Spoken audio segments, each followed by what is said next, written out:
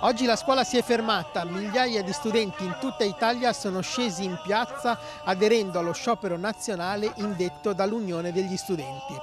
Anche alla Spezia sono stati molti manifestanti, i ragazzi hanno sfilato per le vie del centro sotto lo slogan Vogliamo potere.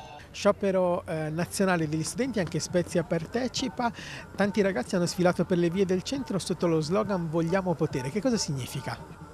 No, vogliamo potere significa che gli studenti vogliono avere una parola in quella che è la scuola, in quanto loro sono i primi a frequentare quegli spazi.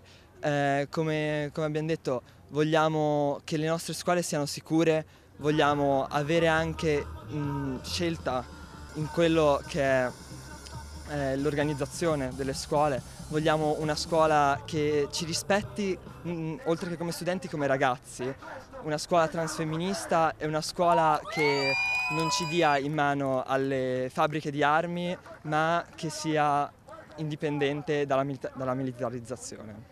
Tra i tanti temi sollevati dalla manifestazione anche la situazione internazionale, con particolare riferimento ai conflitti armati e alle guerre. Tra i tanti temi sollevati dalla manifestazione anche la situazione internazionale, con particolare riferimento alle guerre. Esattamente, infatti eh, noi crediamo che ehm, intanto la guerra, la guerra, non capiti per caso, infatti c'è tutto quanto un sistema che... Ehm, ci guadagna effettivamente ehm, che è quello della produzione e vendita di armi.